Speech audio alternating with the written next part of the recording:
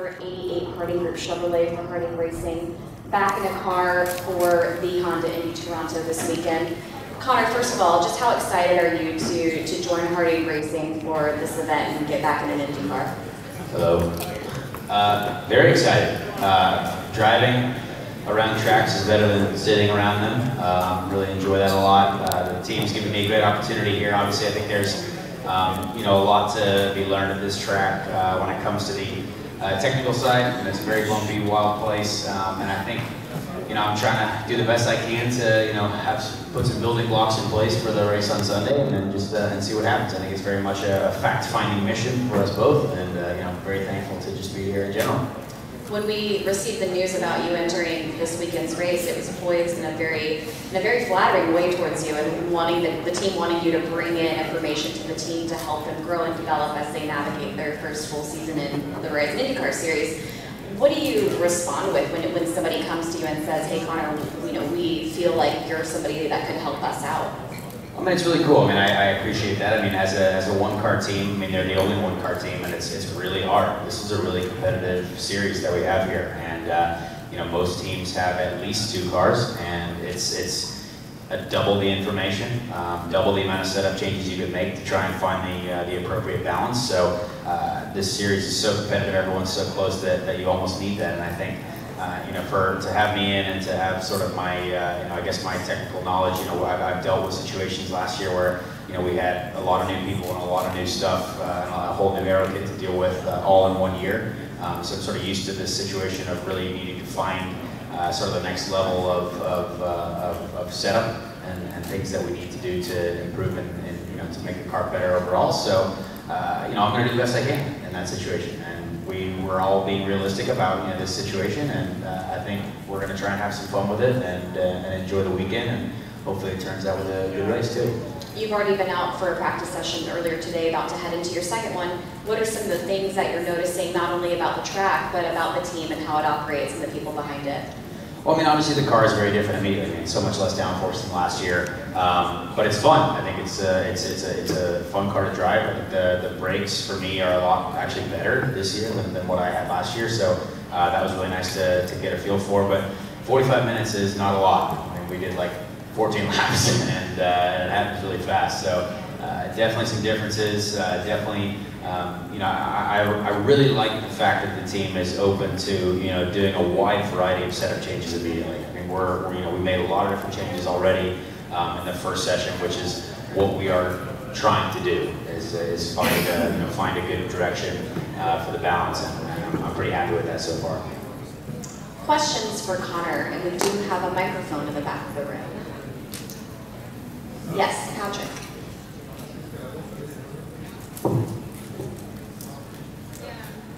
Touched it a little bit, but a little more. Talk about the new team getting situated, how they do things. Take me through that process of trying to fit yourself into the this new scheme, and they brought you in here to add to, not just keep it even.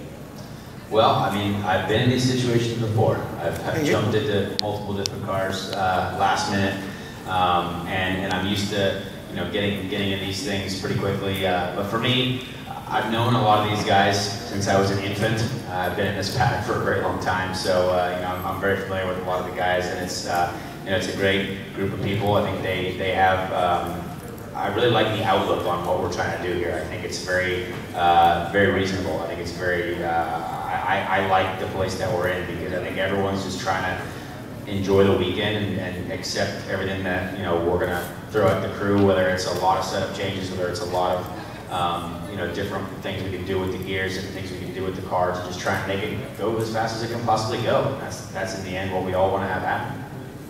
Norris and then Bruce.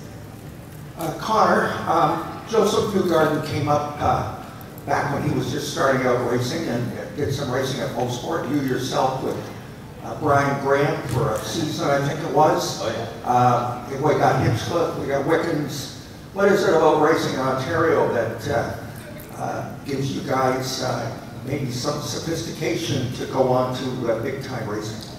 Oh yeah, I mean I spent most of 2008 here. Uh, the Ontario Formula 4 Championship was a great time in my life. Um, you know we uh, got a lot of wins up there at Mosport. It was a lot of, a lot of fun. Raced in Calabogie, raced in Montreal, raced all over the place. Um, great time. And I think I learned a lot about um, really why I'm here, the technical side of racing. You know, I was racing in the Skip Barber National Championship and then also racing in the Formula 4 Championship to try and build the technical knowledge and feel, figure out feedback. How do I deliver things to my engineer? Um, and I think that's paid off for sure uh, in the long run. Uh, and so I, I, I love coming to Canada. I love coming, uh, coming here all the time. A lot of great people here, a lot of obviously incredible fans of the sport in general. So, uh, and some great Canadian racing drivers like uh, like Hinch and Wickens there, and, and, uh, and they're obviously nice people as well.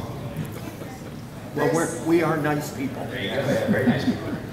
Bruce? Conor, it used to be that if you were called into a meeting with Brian Barnhart as a driver, it being, uh, it's like going to the principal's office, now he's your boss. How Yes. is that dynamic working out for you? I like Brian. His, his voice on the radio is really it's really uh, assuring. I think he's very uh, very stern in the way he talks, but I know that uh, he's got a lot of passion for this sport. We all we've all seen that, um, and it's great. It's a great group to work with. I think all the guys are uh, are good leaders. I think there's some really uh, really strong leaders on the on, on the pit box there, uh, and even having Al Jr. There as well. I think that's that's really really cool to have that as part of the team dynamic, without a doubt. Yes, sir. Eric?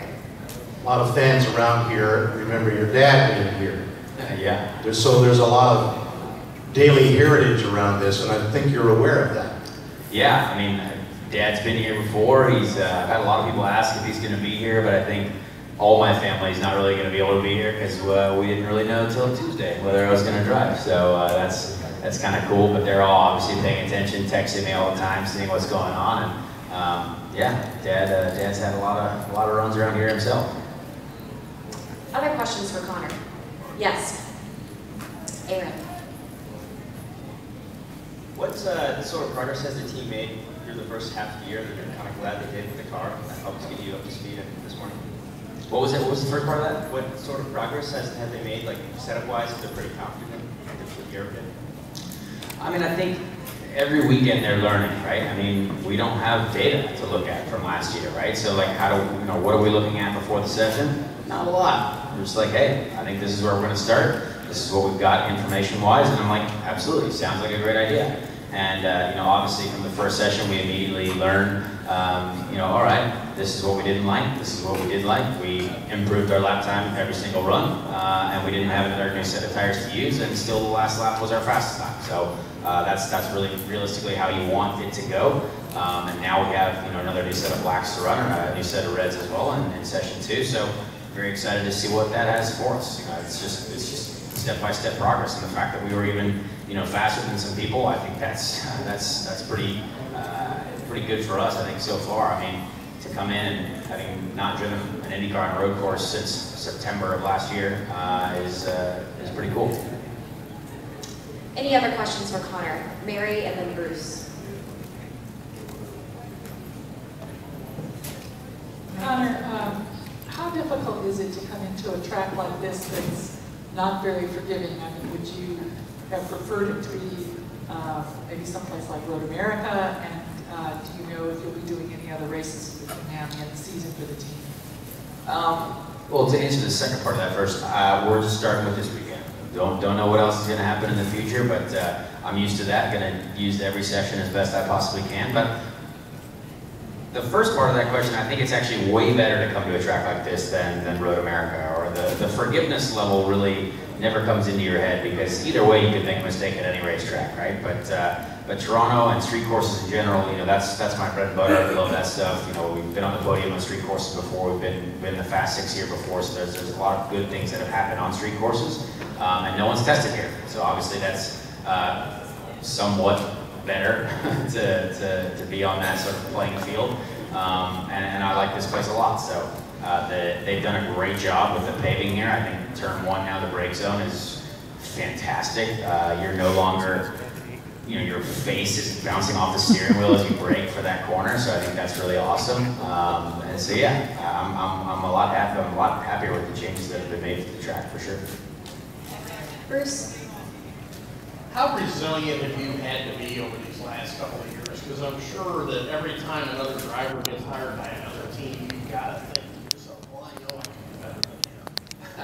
I mean, I don't know about that. I think there's uh. There's a lot of asterisks around that word these days. Um, but but for me, I mean, I, I know what I can do. I know there's a lot of people that um, still do have faith in me. I think there's a lot of people in these uh, in these teams that have you know seen what I can do, seen what I have done in certain situations.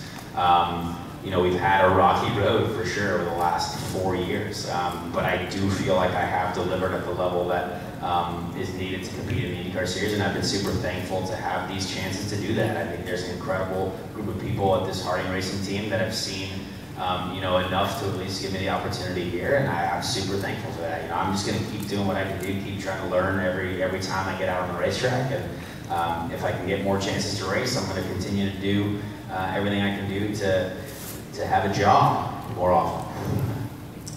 Any last questions for Conor before we let him go get ready for practice? Conor, thank you very much. Appreciate it. Thank you guys, I appreciate that.